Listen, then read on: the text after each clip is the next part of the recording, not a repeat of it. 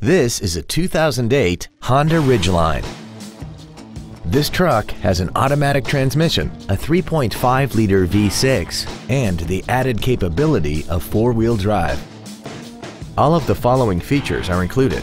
A low tire pressure indicator, alloy wheels, cruise control, leather seats, front multi-stage airbags, latch-ready child seat anchors, a multi-function display, steering wheel mounted controls, full power accessories, and the HomeLink transceiver can be programmed to use the same frequency as your remote opening devices, such as the garage door, the entry gate, or even the living room lights, enabling you to control them right from the driver's seat.